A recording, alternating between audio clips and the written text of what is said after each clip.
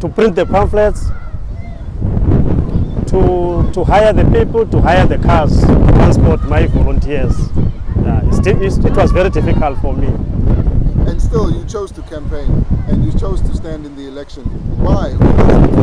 Yes, the community, they, they asked me to stand as an independent because they are not happy with the one that was, was the, the current councillor that was here for 10 years.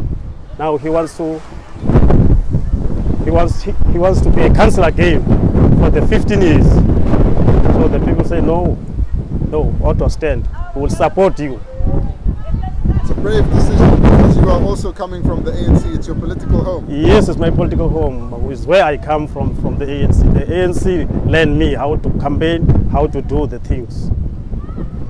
And in terms of your job itself, what kind of job do you do? Uh, I'm working as a security guard now. Yes.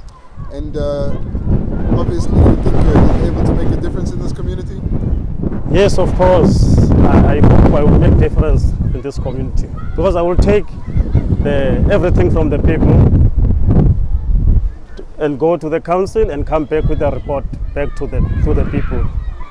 What kind of promises did you make to the people? In this ward, the people need houses here.